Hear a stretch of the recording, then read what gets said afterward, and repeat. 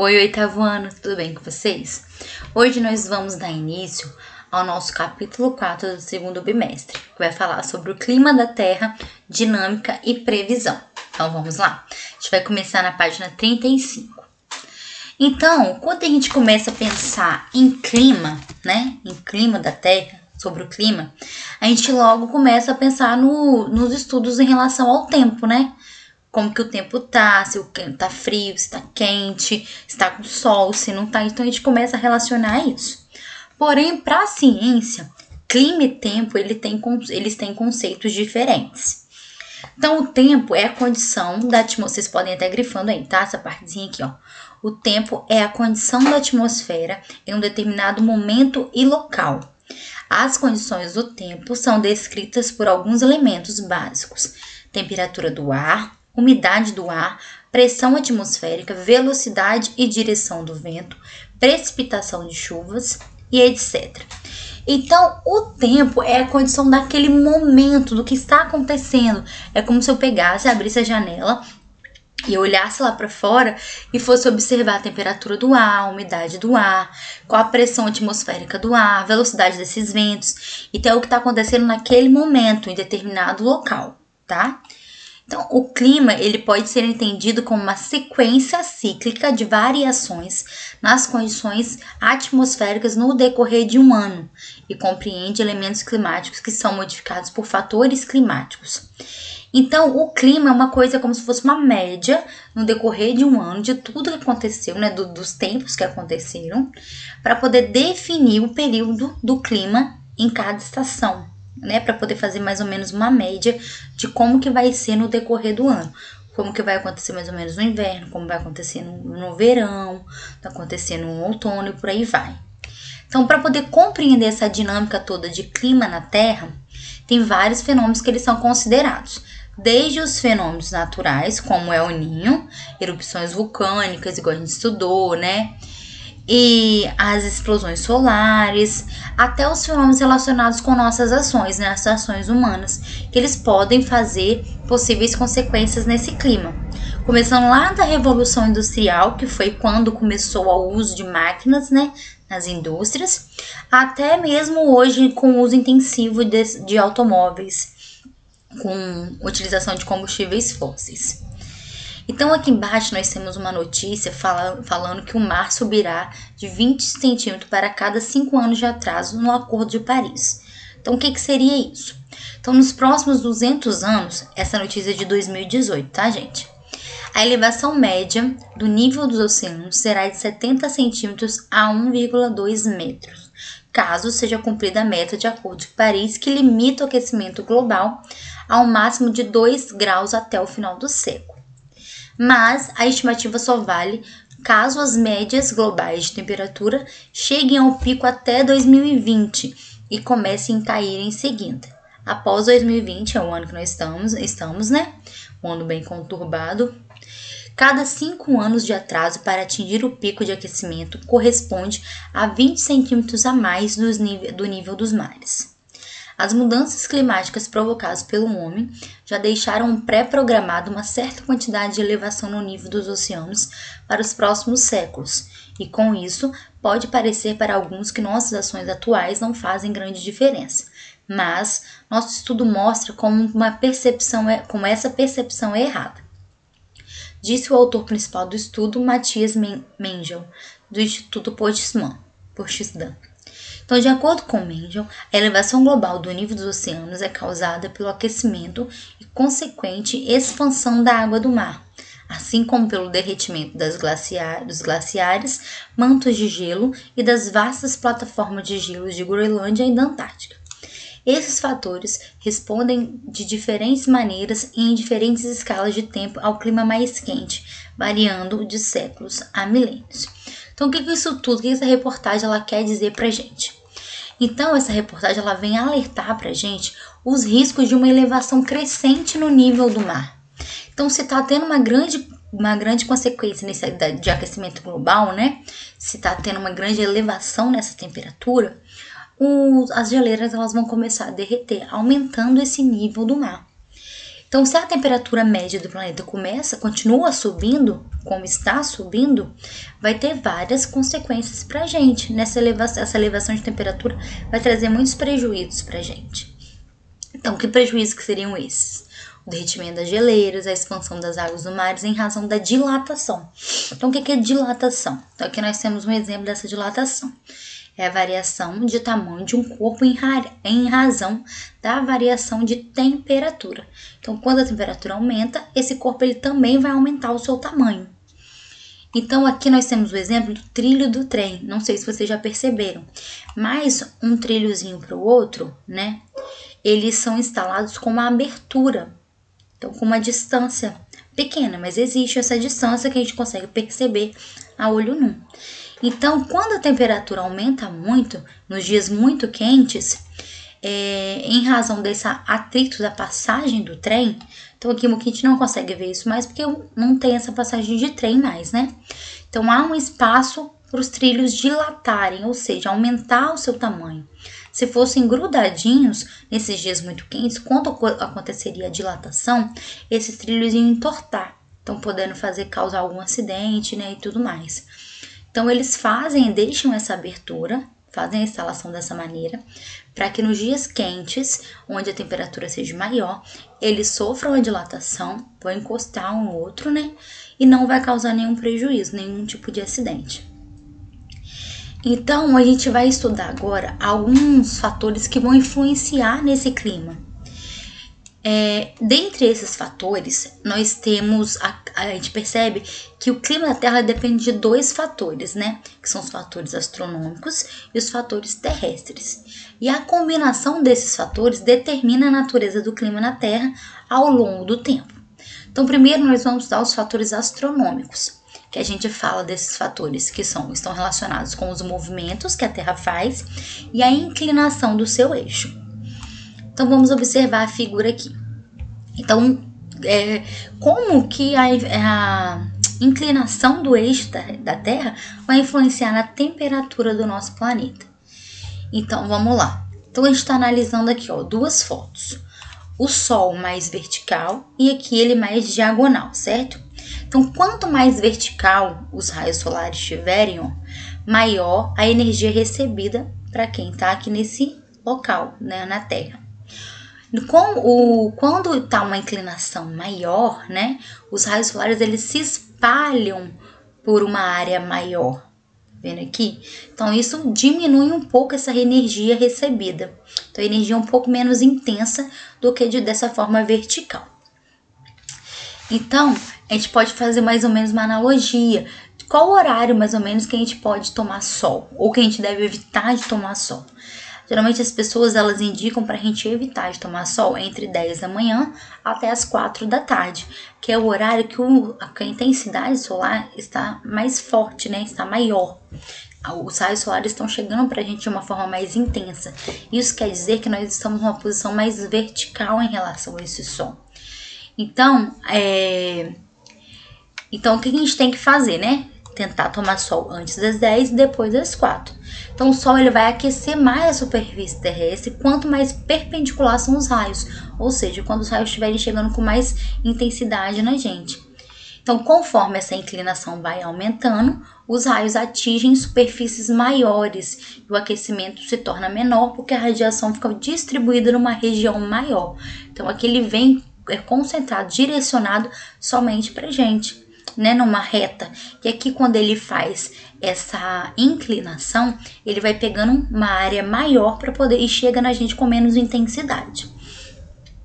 Então, se a gente pensar na Terra como um todo, a gente começa a concluir que o verão é uma estação onde o sol, eles, os raios, né, vêm para a gente de forma mais vertical, mais próximo da vertical, por isso que é uma estação muito mais quente, e o inverno é quando essa radiação ela chega bem mais inclinada para a gente, por isso que a gente não sente, né, tanta essa intensidade de raios solares. Então, outra inclinação, outra inclinação, não, desculpa, outra consequência que a inclinação da Terra ela tem está relacionado com a distância que os raios solares precisam percorrer até chegar aqui na superfície. Então, apesar de não aquecer muito a atmosfera, a radiação solar ela vai perdendo intensidade quando ela começa a atravessar essa camada espessa de ar para poder chegar na nossa superfície. Então, aqui nós temos também dois, dois desenhos, né? Dois esquemas. Nesses esquemas, a gente começa a perceber que é verão no hemisfério sul, porque a região está recebendo os raios solares mais próximos da perpendicular. Então, nós temos aqui recebendo, recebendo um pouco mais, né, desses raios solares. Além disso, é possível perceber que existem regiões em que os raios estão atravessando um trecho menor da atmosfera, ó. Aqui, ó, tá vendo a atmosfera bem em volta? Então, ele está atravessando um trecho menor dessa atmosfera. No hemisfério norte, é inverno e os raios atravessam uma camada maior da atmosfera. Então, a gente olha, observando essas imagens, a gente vê os raios solares. Aqui em volta tem a atmosfera, onde tem locais que esses raios estão atravessando uma parte maior dessa atmosfera, né, uma parte maior dessa camada de ar, e outro que está atravessando uma parte menor. Então, a imagem representa o verão no hemisfério sul e o inverno no hemisfério norte. Veja que os raios incidem muito mais na verticais no hemisfério sul do que no hemisfério norte certo? E aqui os raios solares percorrem diferentes distâncias na atmosfera por causa da inclinação do eixo da Terra. Então ele tem várias distâncias por causa dessa inclinação do eixo. Se a Terra fosse retinha, essa parte aqui onde está recebendo maior incidência de raios solares iam receber com maior, eles iam atravessar a mesma, a mesma quantidade, né, o mesmo tamanho desse, dessa espessura de ar.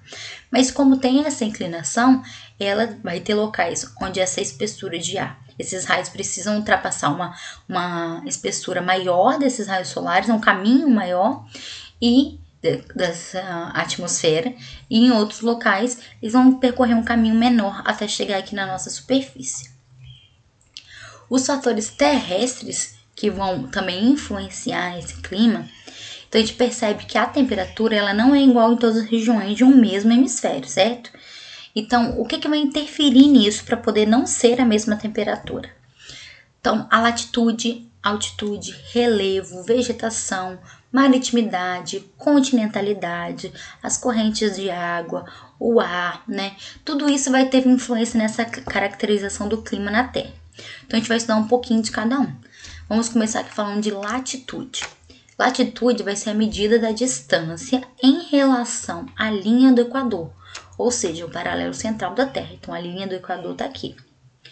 Então, nos equinócios de primavera e de outono, então, se vocês quiserem lembrar alguma coisa dos equinócios, vocês podem olhar na página. Deixa eu olhar aqui para me lembrar a página que é, da apostila.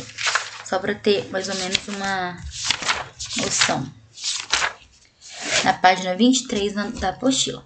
Então, se, a gente pegar para pensar, ó, nos equinócios, os, cadê? Equinócio da prima, de primavera e de outono. Então, os raios incidem exatamente perpendiculares ao Equador. Então, a gente tem equinócios de primavera e de outono, certo? Então, eles vão incidir exatamente perpendiculares ao Equador, ou seja, como se fosse mais reto para esse Equador nos solstícios de verão do hemisfério sul, então seria aqui, e no solstício eles incidem exatamente perpendiculares ao Trópico de Capricórnio. Então vem mais para cá. Então no solstício aqui do hemisfério sul, esses raios vêm mais para o Trópico de Capricórnio. No solstício de inverno do hemisfério sul, eles incidem exatamente perpendiculares ao Trópico de Câncer. Então ele vai mais para essa linha aqui. Eles os raios eles ficam são jogados mais para o trópico de Capricórnio, de Câncer, desculpa. Isso ajuda a definir as zonas climáticas do planeta.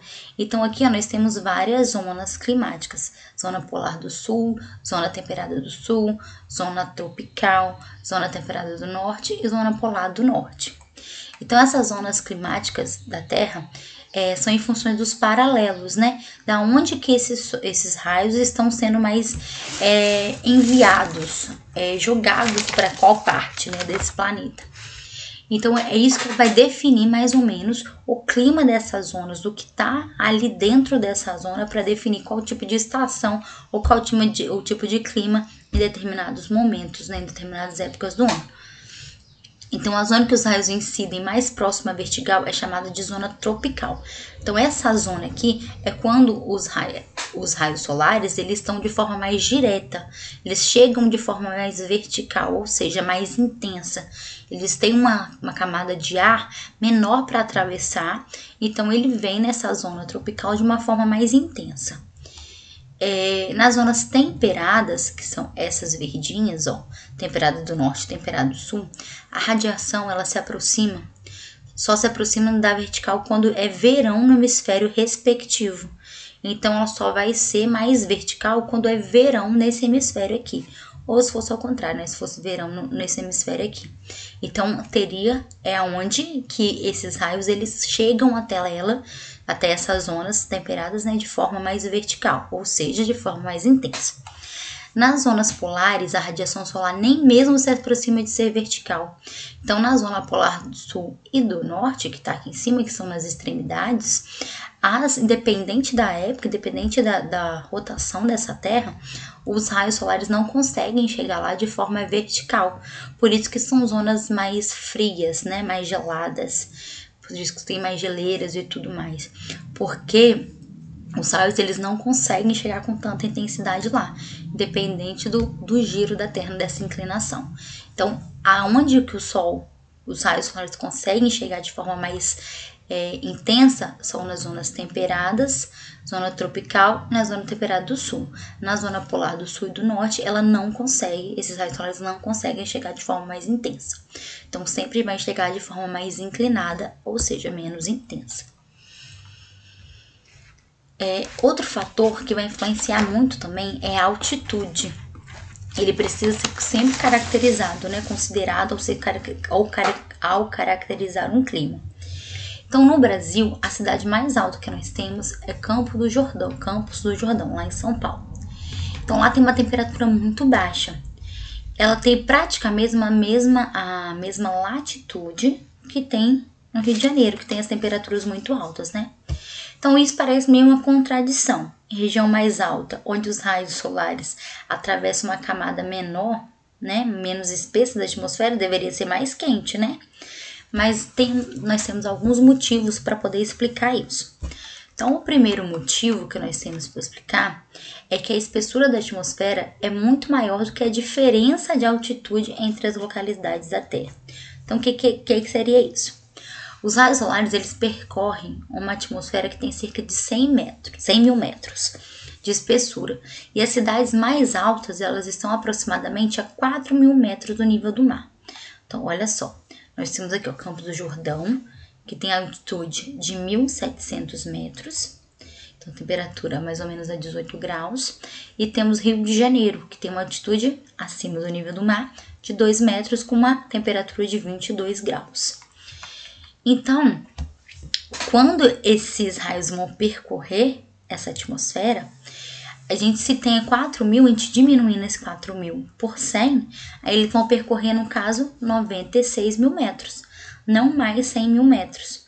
Então, não é um fator que vai variar a radiação solar, é, perder intensidade de maneira significativa. Então, mas como que isso acontece? Então, o segundo motivo para poder também explicar esse fato está relacionado com a radiação infravermelha.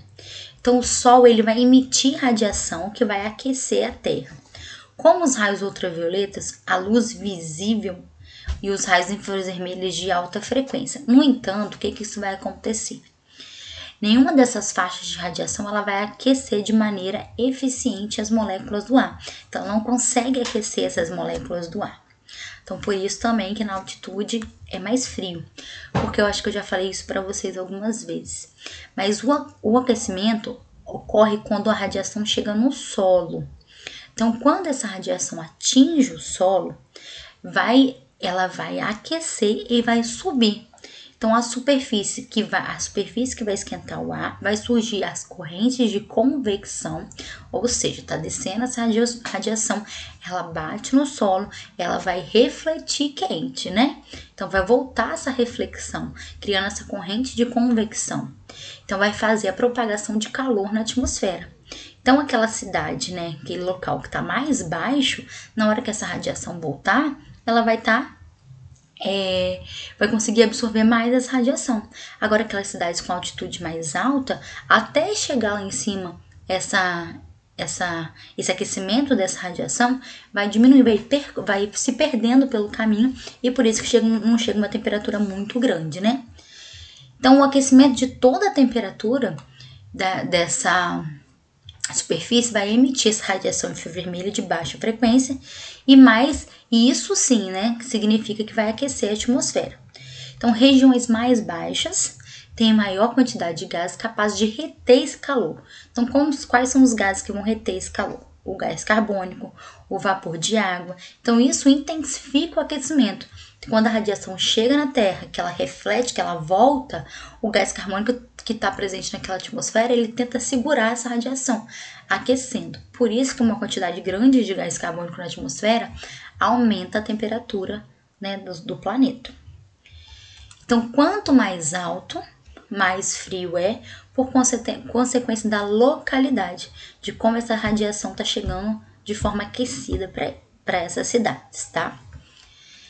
É, depois nós temos o relevo, que é uma, um motivo muito importante também para poder definir o clima de certas regiões. Então, uma cadeia de montanhas, como a Serra do Mar, igual tá falando aqui no Paraná, um exemplo, né? Pode ser capaz de bloquear ventos e massas de ar vindos do litoral e assim vai ajudar a definir o clima de uma localidade. Então, se tem cadeia de montanhas bloqueando o vento e as massas de ar frio ou a massa de ar quente de vindo de algum lugar, vai também modificar o clima dessa localidade. Então, se eu tiro todo aquele relevo dali, se eu tiro tudo dali, o meu clima consequentemente vai mudar, porque o relevo ele vai fazer toda a diferença para poder é, definir o clima daquela localidade. Outro fator que nós temos é a vegetação. Então, a vegetação, quando a gente aumenta a vegetação do local, a temperatura ela pode ficar mais amena, porque a vegetação traz sombra, né? Ela faz absorção de calor pelas plantas, dá mais umidade no ar, é, absorve as águas do solo. E por outro lado, se a gente reduz essa vegetação, né, dessas áreas verdes é o que acontece nas conhecidas ilhas de calor, que é um efeito observado nas áreas urbanas, que a temperatura é significativamente maior do que na área rural. Então, se a gente pega uma cidade, está numa cidade, está um clima mais quente, a gente vai para uma área urbana, a gente sente a diferença desse clima, né? A gente sente a diferença dessa temperatura. Porque na área urbana tem muito menos áreas verdes, né, vegetação, do que numa área rural. Então a gente consegue sentir essa diferença nitidamente. É uma diferença brusca na temperatura muitas das vezes. Então, essas é o que a gente considera como ilha de calor, que é um efeito observado nas áreas urbanas e que a temperatura é significativamente maior do que nas áreas rurais do entorno, que estão em volta dessa área urbana. Então, os materiais que constituem da superfície urbana absorvem e armazenam energia de maneiras diferentes, além de atrapalhar a circulação do ar. Então, se a gente tem casas, tem prédios, tem indústrias em grande quantidade, tirando essa área verde, essas coisas absorvem esse calor e também vão dificultar essa passagem, essa circulação do ar, para poder fazer o clima ficar mais ameno. Outra influência que nós temos é a questão da maritimidade. Então, o que, que isso tem a ver? É a respeito da quantidade de água presente na localidade, em um determinado local, em volta desse local. Com mais água e maior maritimidade, temos uma menor variação de temperatura durante a noite. A razão é que a água precisa receber ou perder muito calor para poder variar essa temperatura. Então, a temperatura adquirida durante o dia, ela vai diminuindo durante a noite. Então, o que, que isso acontece? A presença de grandes massas de água torna menor a amplitude térmica entre o dia e a noite. Então, quando eu tenho uma massa de água maior, eu torno menor essa variação de temperatura entre o dia e a noite, tá? É, então, aqui eles falam que a usina de Itaipu alterou as condições climáticas da região. Então, originou um imenso corpo d'água em alguns municípios, do sudoeste do Paraná, né, o Lago do Itaipu, e, embora a atuação do reservatório sobre o local seja motivo de controvérsia os pesquisadores, tem pesquisadores que acreditam que isso não influenciou em nada, a presença da usina pode ter provocado, provocado alterações meteorológicas nos fluxos de vento e na, na, geração de vapor de água, como provável reflexo da construção de seu reservatório. Então pode ter influenciado a quantidade de ventos, né? Pode ter é, diminuído essa quantidade de ventos porque ela está impedindo essa passagem de vento, esse fluxo de ventos e essa geração de vapor de água dessa usina. Outro fator muito importante que nós temos é a continentalidade. Ela é o contrário da maritimidade. Ela vai corresponder à influência das terras continentais no aquecimento e resfriamento da localidade. Então, a gente sabe que nos desertos eles têm temperaturas muito altas durante o dia e muito baixas durante a noite, certo? Então, por que, que isso acontece? Por causa da falta de água. Então, o calor ele é absorvido durante o dia, então ele faz a temperatura aumentar muito, e sua perda de calor para a atmosfera durante a noite faz essa temperatura diminuir. Então, o solo e a água, eles têm calor, um calor que a gente chama de calor específico. O calor específico do solo, ele é mais baixo do que o da água. Então, o que vai facilitar essa variação de temperatura também. Então, nós temos o exemplo aqui da areia da praia. Durante o dia, a areia da praia é mais fácil ela ficar quente e a água do mar, né, tá mais fria, mais gelada. Isso faz também por causa desse calor específico que cada um atinge. A gente faz, dá pra gente entender também que à noite isso acontece o inverso. Então, à noite, a areia da praia ela esfria mais rapidamente, né? Então, ela fica mais fria. E a água do mar ela geralmente está mais quentinha. Então, ó, aqui tá até falando, ó, vocês podem grifar, que durante o dia a água do mar, cadê? Aquece, a areia aquece mais rápido durante o dia do que a água do mar, mas também esfria mais rápido durante a noite. Então, como o calor específico das duas são diferentes e o calor específico do solo é mais baixo, ele ajuda a, a criar essa variação de temperatura. Então, geralmente eles têm estados opostos. Se a areia da, da praia está mais quente, a água do mar está mais fria. Se a areia está mais fria, a água do mar está mais quente. Então aqui tá falando da cidade de Cabeceiras, né, uma das cidades mais secas do país. Então muitos filmes eles são relacionados nessas cidades, né, filmes como falando muito da, das casas nordestinos, que lá a gente sabe que o Nordeste é um dos locais mais secos que tem. É, então as temperaturas nesse local elas podem ficar superior a 35 graus durante o dia e inferior a 18 graus durante a noite, já sendo registrado 13 graus. Então, a, a, amplitude térmica, ou seja, a variação de temperatura, o, onde pode chegar do mínimo até o máximo, a amplitude dessa temperatura é muito grande. Pode variar mais ou menos aí de 18 a 35, de 13 a 35, né? Então, a gente tem que saber que alguns fatores influenciam o clima. Eles são, fazem toda a diferença para poder determinar o clima de uma região, de uma época do ano. Então, a gente tem que lembrar desses fatores, que é a questão da latitude, altitude, relevo, vegetação, temperatura do ar, umidade do ar, velocidade de direção dos ventos, né, que são as correntes de ar, o tipo e quantidade de precipitação e correntes marítimas. Então, esse quadrinho aqui é muito importante vocês grifarem, porque é um quadrinho que vai falar muito, né? A gente tem que lembrar desses fatores que vão influenciar o clima da nossa região, da nossa terra, do nosso país, tá? Agora vocês vão fazer para mim a atividade da página 42, tá? Então, a atividade número 42 é do 1 ao 5. É, na 5, aqui, vocês, se vocês conseguirem achar na internet, vocês podem fazer. Se não conseguir achar tudo, não tem problema, tá, gente? Tá pedindo pra gente descrever, descrever os fatores climáticos da nossa cidade.